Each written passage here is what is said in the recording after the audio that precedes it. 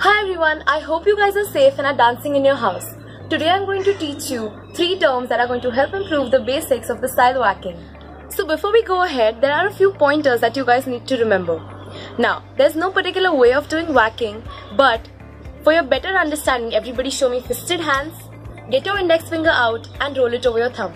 Now, waacking is all about striking and posing, so your posture is extremely important.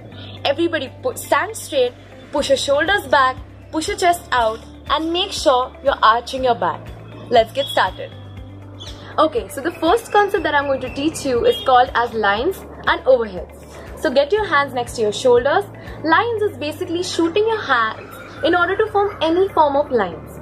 So you can shoot your hands out, to the side, diagonal, front, up, down, anyway. You have to make sure that you are opening up from your shoulders and you have to make a very crisp movement. Okay. So overheads is basically getting your hands and rolling them all the way above your head to touch your shoulder blades at the back like this. Now this movement is very crisp and you have to ensure that your elbows are not drooping. Another important pointer is you're not supposed to move your neck in the process. You're not supposed to do this.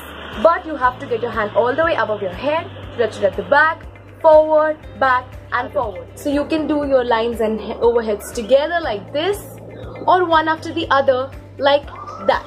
Okay. So the second concept that we are going to learn is called as arm rolls.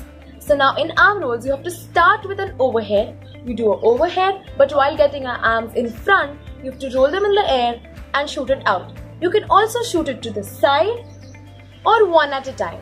So the third concept that we're going to learn is air screw. So it might look a little challenging, but let's learn. So you have to pretend like you're pulling something. With your right hand, you go pull and pull. Now this position where your elbows are slightly diagonally up, it's called as diagonal press position.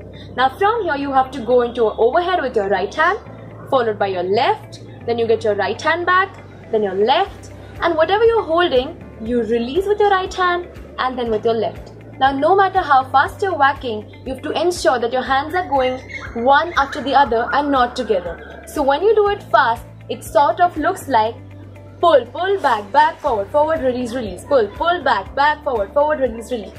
Okay, so now using these three concepts, let's learn a small routine. So we're going to start with a combination of lines and overheads. So everybody get your hands in your ready position. All you have to do is you go one and two, three and four. So first you do an overhead and shoot your hands in front. Then you do overhead, shoot your hands to the side. Now after this, you're going to do a step using both lines and overheads at the same time.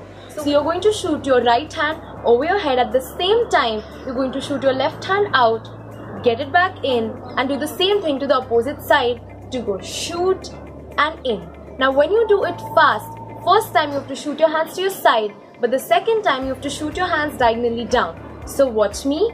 I go 5 and 6 and 7 and 8 and.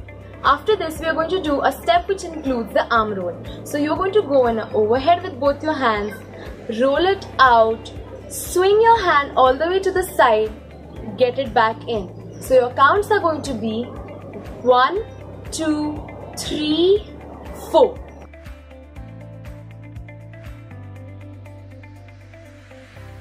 So when you do this step fast, it looks like 5 and 6 and 7 and 8 and pose.